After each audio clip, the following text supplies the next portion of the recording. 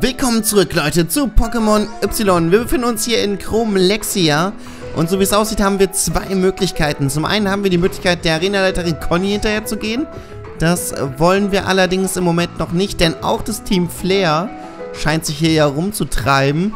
Und soweit ich mich erinnere, sind die hier oben links reingegangen. Ich gucke mal ganz kurz noch nach, ob meine Pokémon geheilt sind. Nein, sind sie nicht. Gut, dass ich nachgeguckt habe. Die sind mehr als down. Ich habe jetzt mal wieder, ich habe bestimmt 3, 4, 5, 10, 48 Tage nicht mehr aufgenommen. Deswegen, gibt es überhaupt ein Pokémon Center? Bist du so eine Pokémon-Heiler? Ne, da ist das Pokémon Center. Alles klar. Leute, ab ins Pokémon Center. Was ist da los, du? Was ist los mit dir, Woller? Was ist los mit dir? Warum bist du so überdreht? Ich weiß es nicht. Nein, ich habe, oh, ah, ich habe jetzt echt eine ganze Woche, ich habe jetzt drei, vier Tage so gut wie gar nicht aufgenommen. Oh, und wenn ich dann was aufgenommen habe, dann waren es so Aufnahmen, die so extrem nervig sind, dass ich äh, schon drüber nachgedacht habe, ey, das, das schmeißt den ganzen Laden hier, ich zertrümmer diesen ganzen Laden. Das ist echt, oh, naja, was ist das denn? Die kann ich jetzt aber kaputt machen, oder? Was? Da stand was, da stand was. Altertümliche Steine. Hm, naja, das ist ganz mehr als eindeutig ein Eingang. So viel ist klar. Aber gut, ähm, wenn wir da nicht hinterher können, dann würde ich sagen, wenn der gute Wollo hier mal, äh, der gute Chris, wohl eher, sich jetzt mal hier fangen würde, dann gehen wir einfach mal, ja, dann gehen wir in den Miroir-Weg. Hilft ja alles nichts, ne? Komme ich da? Achso, von da rechts. Gut, Leute, jede Menge Pokémon-Kämpfe, glattpolierte Steine sind etwas ganz Tolles, wenn du mich fragst. Oder auch kein Pokémon-Kampf. Das ist ja mal ganz nett. Da liegt eine Beere. Trisi, Trusi, Beere. Geil. Körper und Geist sind auf den Gegner fixiert und alle Kanäle auf Empfang gestellt. Und auch das wird dir nicht helfen, Kumpel. Das ist so. Ganymede, okay. Ganymede wird setzt Monozyte ein oder so. Ach, das Vieh. Psycho-Pokémon, oder? So war das. Psycho-Pokémon mag nicht so gerne. Weiß ich nicht mehr. Hatte ich gestern noch eine große, gab es eine große Diskussion in einem Call drüber. Was jetzt gegen Psycho effektiv ist und was nicht. Und ich sage euch, Unlicht ist effektiv. Nehmt es hin. Ich hab's gerade gesehen, live. Egal, was der Poke-Wiki dir erzählt. Wolle erreicht Level 30. Ja, ja. Und äh, dabei, ja, gestern gab's halt äh, diese ja, diese kleine Diskussion darüber. Und dabei wurde auf jeden Fall festgestellt, dass, dass hier niemand, also niemand von den Leuten, mit denen ich so Kontakt habe, hat Ahnung, was äh, hier hilft und was nicht und effektiv ist und doch nicht. Und ich, ich, selbst ich kann es euch ja nicht sagen, ne? Und auch diese Leute spielen zurzeit dieses Spiel und die wissen es auch nicht. Und auch nicht nach 40 Stunden Spielzeit. Es ist ein Trauerspiel beinahe schon, ne? Ein kleines bisschen Trauerspiel. Aber ich werde es nach 40 Stunden auch nicht wissen. Ich habe mir schon überlegt, ob wir vielleicht mal... Kann man... Ich, ich bin mir nicht mal sicher, ob das geht. Ob man random Online-Kämpfe machen kann. Geht das? Oh, ich habe Superschutz. Ich habe meine Liste nicht hier. Ich merke gerade, dass ich meine Liste nicht aufgeschlagen habe. Deswegen bin ich auch so entspannt. Guckt euch das an. Guckt euch das an, das ist doch echt witzlos. Drei Schritte durchs Gras und da ist was. Was ist das denn? Ein Staravia. Krass. Staravia, du bist so gut wie mein. Nur hat einen Bedroher an. Ah, ist vielleicht gar nicht so schlecht. So können wir den dann wenigstens auch äh, treffen, ohne dass er gleich abhaut. Äh, das heißt abhaut. Ohne dass er gleich stirbt, ne? Das trifft es wohl ein bisschen besser. Wollo setzt Biss ein. Staravia wehrt die Attacke ab. Natürlich, wie soll es doch anders sein? Komm, Wollo, jetzt aber. Na? Ach komm. Wir machen was anderes. Vielleicht äh, hilft das einfach nicht. Wir machen mal eine Aquavelle. Notsituation. Aha. Ja, ist doch ganz ordentlich. Wenn ich jetzt eine Stärke hinterher setze, ich weiß nicht, ob der dann drauf geht.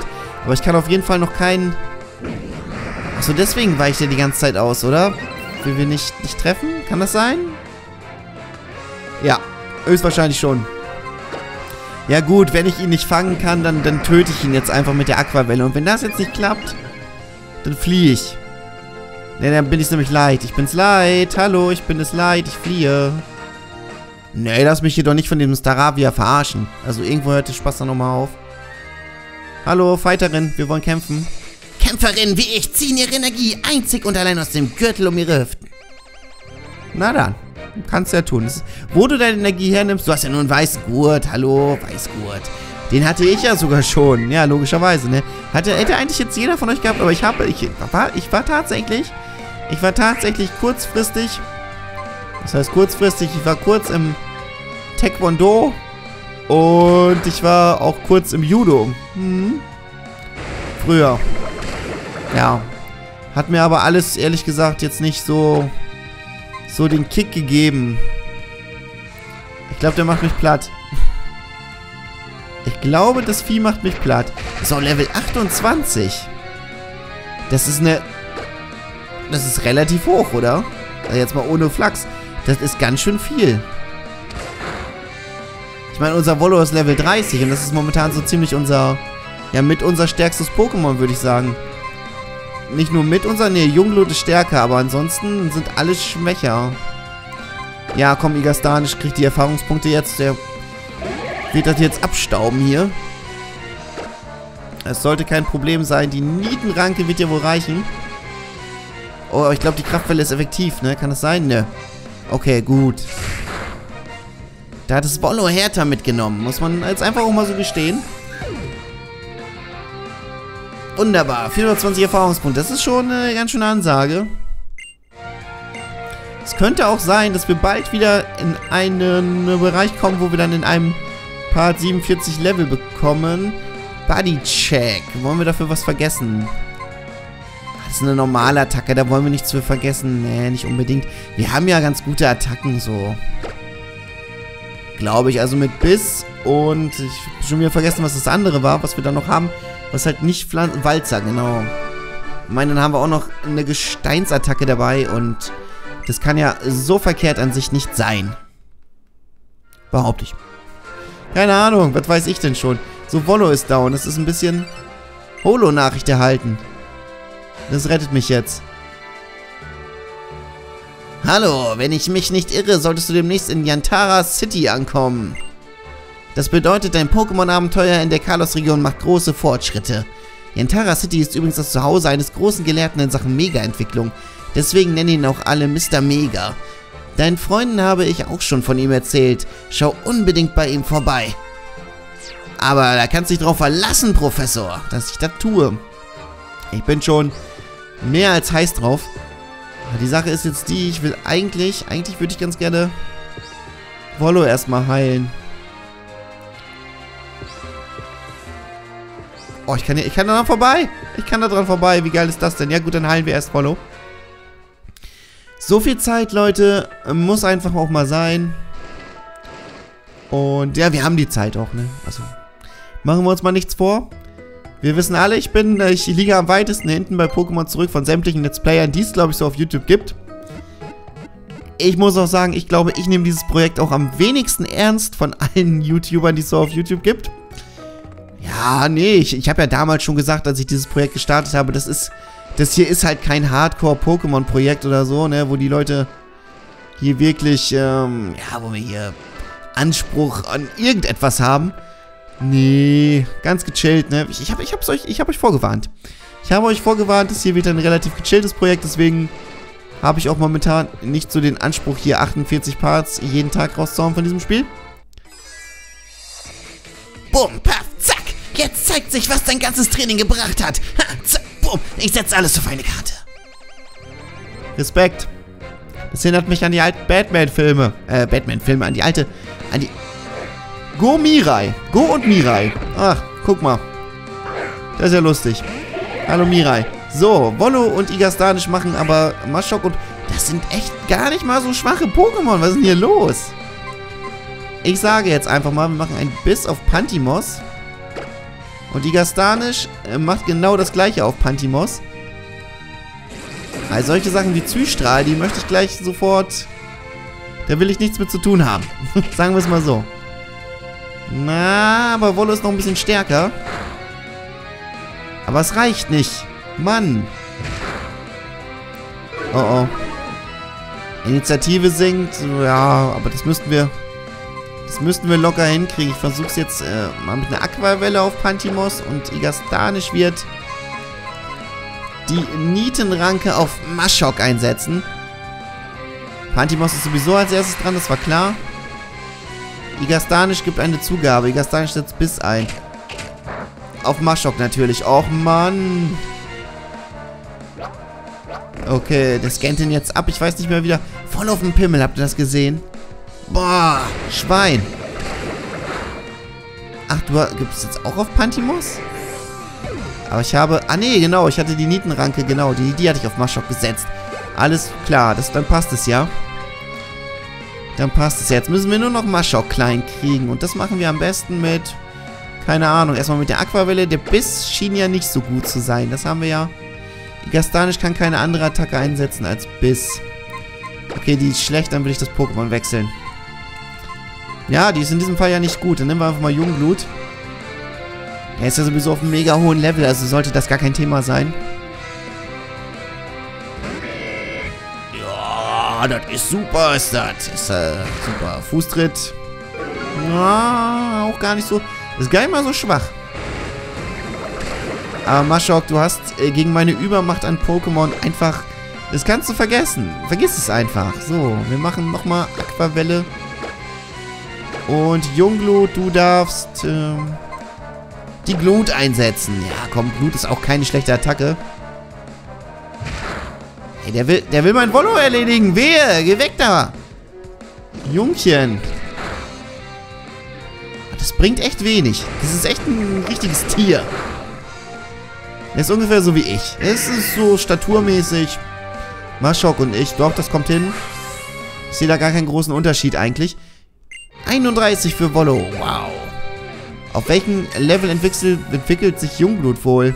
Aber es kann nicht mehr so lange dauern. Ich meine, Level 33. Go und Mirai wurden besiegt. Das war gar kein Thema. Mach dir nichts draus. Du hast dein Bestes gegeben. Ja. Hab ich auch. Ne, oder er meinte den anderen. Ja, theoretisch müsste ich schon wieder ins Pokémon Center. Du greifst mich nicht an. In der Kalos-Region gibt es wirklich jede Menge mysteriöse Steine. Word. So ist das wohl. Ja, nee. Unter diesen Umständen gehe ich gehe noch. Ja, Leute, aber das ist ja nun mal so, ne? Man geht immer wieder ins Pokémon Center und wieder zurück und wieder ins Pokémon Center und wieder zurück. Weil man das eben so macht in einem Pokémon-Spiel. Zumindest ich. Ich habe das so gelernt. Ich weiß noch früher, ey, da war es ja noch viel schlimmer. Da bin ich wirklich wegen jedem Scheiß, nach jedem Kampf, nach, nach jedem einzelnen Kampf in Pokémon bin ich zurück ins Pokémon Center gerannt und dann, ja, so war das. Ich meine, da hat man doch kein Geld für Tränke ausgegeben. Wir hatten ja auch damals kein Geld. Wir hatten nichts, ne? Wir hatten keinen EP-Teiler. EP-Teiler. Dafür hätten wir... Nein, nein, ich bin so dumm. Dafür hätten wir unsere rechte Hand geopfert, um einen EP-Teiler zu bekommen. So sieht es nämlich aus. Nein, ich will dich jetzt gar nicht haben. Ich habe außerdem, wie gesagt, ich habe die Liste gerade nicht bei mir. Die muss ich mir für den nächsten Part gleich einmal zurechtlegen. Aber dringendst. Oh nö, jetzt scheitert das blöde Flüchten. Doch nicht. Ich bin sehr dankbar. Nein, raus da. Geh da weg. Geh. Oh, nicht ins Gras, Junge. Du weißt doch, was dann passiert. Du weißt es doch. Ich hätte wenigstens gucken können, was das hier ist. Spiegelhöhle. Ah, Spiegelhöhle. Davon habe ich gestern auch gehört. Zumindest äh, fiel der Name einmal kurz. Fahrrad verboten, Rollerskates verboten. Okay, funktioniert auch nicht. Oh, da ist ein Spiegel. Und hier sind Pokémon-Kämpfe. Randomized. Wunderbar. Den haben wir. Kiesling haben wir, das weiß ich. Das weiß ich. Ne, wir haben den doch nicht. Wie komme ich denn dann auf den Scheiß? Mal gucken, vielleicht überlebt er das. Falls es überlebt, werde ich ihn fangen. Das gibt's nicht. Ich wollte dich nicht fangen. Ach, Mann. Haben wir schon Energie verloren gehabt? Ach so, ja, der eine Kampf gerade. Na, natürlich, das macht... Nee, das macht Sinn. Ich, ich, ich verstehe schon. Ich war nur gerade ein wenig verwirrt. Komm, wir benutzen den Superball und wir fangen das Kiesling. Und das ist das dann hoffentlich ein schönes Pokémon. Dumm, dumm, dumm. Oh, das ging aber... Das ist ja nicht mal dreimal gedingst, oder? Irgendwie nicht. Naja, was soll's. So, noch der Eintrag für Kiesling. Den kriegen wir auch noch geschenkt obendrauf. Dankeschön. Wurde vor 100 Jahren nach, dem nach einem großen Erdbeben in einer Erdspalte entdeckt. Es trägt eine Energiesphäre in sich. Eine Energiesphäre in sich? Hm, ich habe jetzt keinen Abonnenten, der so heißt, aber ich, ich möchte dieses Kiesling einfach so nennen. Es tut mir leid. Wir nennen es... Weil es einfach, wenn ihr den Namen gleich hört und überlegt, was da stand und wie es aussieht, dann macht das komplett Sinn. Das ist der beste Name, der jemals erschaffen wurde für dieses Pokémon. Wir nennen es Iron Man. Macht Sinn, oder? Komm, Leute. Iron Man, das macht ohne Ende Sinn. Ihr könnt mir jetzt nicht, könnt mir nichts erzählen. So, ich habe recht. Ich sag's ganz ehrlich. Ich weiß nicht, ob ich hier jemals wieder weg möchte. Uh, da steht aber jemand auf sein Aussehen, wa? Backpacker Hitch. ja, das sind diese... Äh, diese typischen äh, Rucksacktouristen, ne? So wie ich es mir vorstelle. Die sind immer so... Ja, diese Leute, die sind immer so, so von sich überzeugt, ne? Kann das sein? Das sind ja diese... Ja, wie soll man sagen? Wie sagt man das jetzt am besten? Ich weiß es nicht. Ja, das sind, das sind ja meist so, so, so Studenten, ne? Ich bin so intelligent, ich muss die Welt bereisen. Und, oh, die Welt bereisen ist so schön, das muss sein. Und kann nicht sein, dass ich nichts von der Welt gesehen ich, ich weiß nicht, ich bin so einer, der gar nichts von der Welt sehen will. Das ist so, das ist so, so, so weit weg für mich. Also, dass man dass man mit dem Rucksack unterwegs sein kann, um zu reisen. Und wenn ich verreise, dann möchte ich in ein Hotel mit Pool und Buffet. Das ist für mich verreisen. Das, da möchte ich hin. Oh Mann, Wollo, hau den einfach um, okay? Ich habe keinen Bock auf den Mist hier. So, kommt noch eine Aquavelle hinterher, dann ist gut. Oh. Bis es nervt, ne? Bis es nervt. Ich wechsle das Pokémon, weil nachher treffe ich den jetzt gleich nicht. Und dann nervt. Ich nehme jetzt einfach Happy und mache dann Ruckzuckieb und dann hat sich das. Und meine Nase juckt, aber das interessiert euch nicht, ne? Nicht wirklich. Adlerauge von Happy wirkt. Ah, Genauigkeit bleibt das. Sehr schön. Ruckzuckpiep. Und Tschüss, Mann. Ein Traum. Ja, erzählt mir doch mal, wie das bei euch ist, ne? Mögt ihr verreisen? Ich stehe nicht so drauf, aber ne, wenn es euch gefällt, Ansonsten äh, nach Japan würde ich natürlich, da würde ich mir sehr gerne, da würde ich auch mit offenen Augen durch die Welt gehen. Aber auch dann eher wegen der, wegen der hübschen Frauen. Balgoas kann nur vier Attacken. Antikraft. Was ist das denn? Mal gucken, Gestein. Antikraft. Ant Antikraft, ach so. Angriff mit antiker Kraft, der alle Statuswerte erhöhen kann. Das ist, glaube ich, es ist, glaube ich, gar nicht mal so schlecht. Ich vergesse jetzt mal eine andere Attacke dafür und zwar... Sagen wir mal ehrlich, Geduld ist so eine Sache, die benutze ich nie. Ja, dafür machen wir mal Antikraft rein, weil das, das klingt nicht so verkehrt. Hat, kann auch nur fünfmal eingesetzt werden. Und das bedeutet für mich, das ist stark. Automatisch. Also wenn es nur fünfmal eingesetzt werden kann, dann ist das stark. Mirror möchte Knochenhatz erlernen. Was ist denn Knochenhatz, mein lieber Mirror? Das ist, greift Ziel zwei bis fünfmal in Folge mit einem harten Knochen an. Stärke 25. Mm, wir behalten die bekannten Attacken. Auch wenn ich jetzt nicht mal weiß, welche Attacken Mirror gerade hat, weil ich es nicht gesehen habe. Aber wie gesagt, ist mir jetzt auch gerade irgendwie ein bisschen, ein bisschen Schnurz. Und ich würde sagen, Leute, wir sehen uns am, im nächsten Part weiter, wenn es mit der Spiegelhöhle weitergeht. Bis dann und ciao.